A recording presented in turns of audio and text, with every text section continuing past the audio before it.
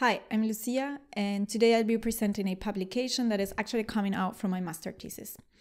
As an introduction for all of you, design is a relatively new discipline in Uruguay. In fact, the dominant discourse has its beginnings in the foundation of the first design school of the country in 1987, the Center of Industrial Design. I'll call it CDI after its Spanish name. The CDI, from which I'm a former student, is presented as a different, I would say foreign, form of educational institution for the country. This is related to the context of the cooperation program responsible for its foundation, Cooperazione Italiana, and the interest of this in regard with the existence of such one institution in Uruguay, as the CDI was part of a cultural commercial treaty between Uruguay and Italy.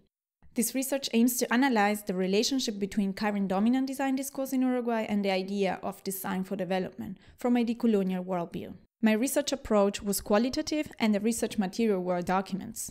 The final selection consisted of two pieces, both publications from the Cooperazione Italiana in regard to the CDI Foundation. The first one, presented in a narrative style with a co authorship of four male authors, all of them related to activities of design, education, or culture in Italy, is composed of seven short essays, and the main interest is that of presenting the idea of design for development as solution for economic and social problematics. The second, the first written material available to the project of the Center of Industrial Design in Uruguay. This document has a more business model style. It presents market studies, market possibilities, and even an implementation cost plan for the first years. Besides, it states the importance of having experts, all of those Italian ones, on all decision making roles, as well as the importance of professors, Uruguayan professors, being trained in Italy. This document is signed by the Italian expert Franca Rossi, who would then become the first head of director of the CDI. Bringing a case study that is attached to personal experience required the use of a methodology that could benefit from it. Therefore, critical discourse analysis was presented to me as a researcher and former CDI student as a way of positioning myself inside a problem addressed, taking a determined stance defined as a worldview. As this is a design research, I found important to combine such structure process with a practical way of presenting my research and findings. So I got inspired by the ideas of Dori Tunstall on hybrid design forms, for which I used color coding as to balance the use of the text as only research material. In terms of process, I follow Ruth Wodak's triad, composed by the explanation, interpretation, and critique steps. The first one, explanation. I perform an in depth text analysis of the inspirational documents and depicted the discourse in which it is positioned. Second one, interpretation.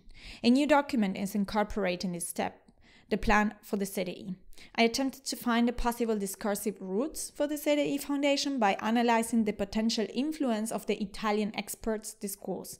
Here, the positionality of me as a research towards the topic was very important, as I was able, due to my experience as a former student, to validate that this document was actually put into practice. The third and last step critique. Once the relations between both documents were fine, I took my decolonial worldview and shifted the document's analysis as to understand the modern colonial aspects presented on the CDI foundational discourse. This addresses hidden political social structures through the institutional aims of Uruguayan's industrial design education.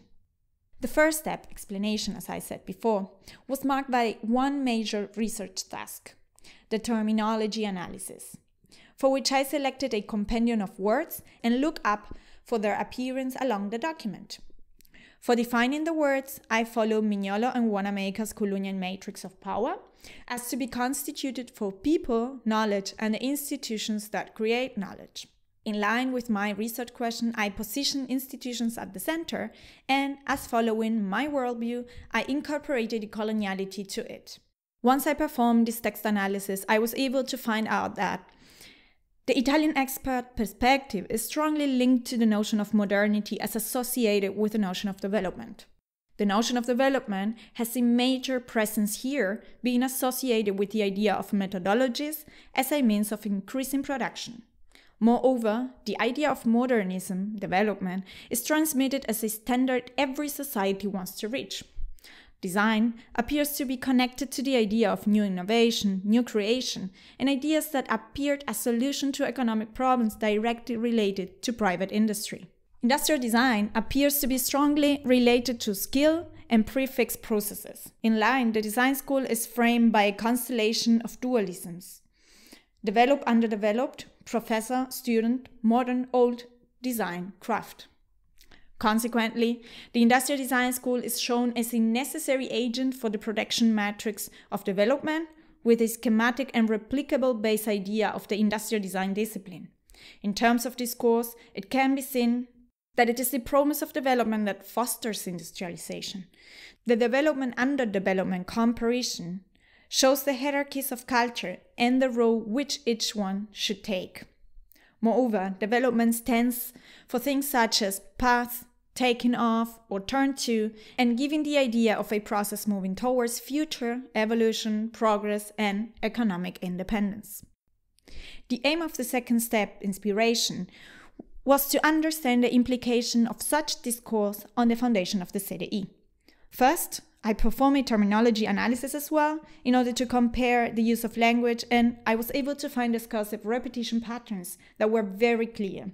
Second, I followed to relate these patterns towards institutional decision in regard to discursive knowledge creation. In this occasion, I'm going to just show you the second part as it reflects the discursive entanglement between both documents. So first, we can see that Uruguay is deprived of industrial agency and categorized as not able to deal with such process on its own. This relates to appreciations towards underdeveloped countries presented in the first document. Here, we can see the perception of design as a service. This adheres to the universal way of industrial design presented by the Italian experts, and it strongly linkages the methods and skill necessary to better massive production. In line, the idea of aiding industrial production relates to the universal necessity of development as a unique path towards a better life. Now, this example shows how training is in line with the idea of instruction presented on the first document, whilst the contribution to specific problem reproduces the idea like design knowledge related to specific praxis on that of the designer as a cultural operator present on the first document. Well, good. With this in mind, I continue to enter the third and last step of the triad, the critique, in which I basically introduce my decolonial worldview and use it as to depict modern colonial structures presented in the CDI foundational discourse. From all my fundings, I'm going to present two of them today. First, the dualism developed underdeveloped as to reproduce the colonial distinction of cultures peoples. The dualism between old craft and design modern activity. This reproduces the notion of indoctrination presented by Quijano by stating the necessity of introducing modes of production that would attempt towards modes of cultures. Moreover, the figure of Italian experts reproduces the colonial division of dominant dominated, as they are presented as the wise and responsible for all decision making. In line, design as developed country's culture function as an example of how the notion of autenticidad, developed by the Uruguayan philosopher Mario Sambarino, plays a role in the differentiation of cultures by stating design as originally coming from the so called developed countries, or other countries are deprived of authority over design, and thus of the possibility of developing its own design discourse. My second major funding was the methodological approach that is so present on the figure of the designer as a problem solver. The constant repetition on the relationship between methods, skills, ways, and problem solutions. This can be seen in the idea of operational instruction, which states a scenario on which knowledge is reduced to a mere technical information. This way, students are detached from knowledge by means of not including any social, political, and cultural contextualization.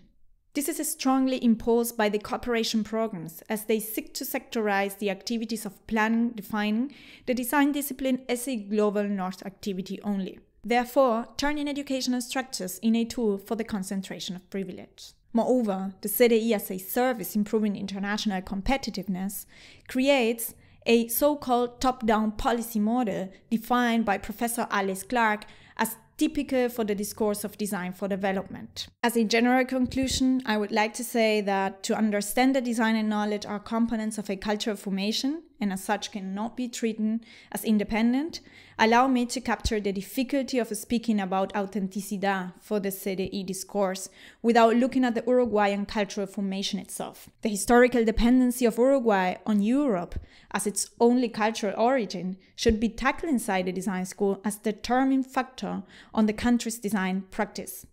I will argue that Uruguay should transit a self inclusive process by means of Uruguayans integrating themselves in the creation of an Uruguayan design discourse by accepting the plurality of cultures that have historically converged in the Uruguayan cultural formation. Thank you very much.